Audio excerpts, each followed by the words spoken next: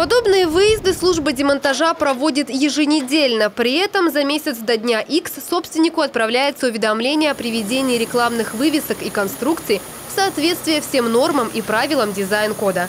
В противном случае очисткой фасада займется специализированная компания выгоднее это убрать самим, потому что те затраты, которые понес бюджет на демонтаж этих объектов, они в дальнейшем могут быть э, взысканы с собственников вот этих нежилых помещений. Если мы видим, что через какое-то время появилась аналогичная незаконная растяжка, туда опять выезжаем, опять демонтируем, только сумма уже будет на демонтаж э, гораздо больше.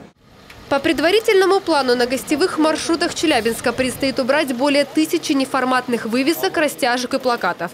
После того, как дома на основных магистралях приведут в порядок, комиссия займется оформлением магазинов и на других улицах города.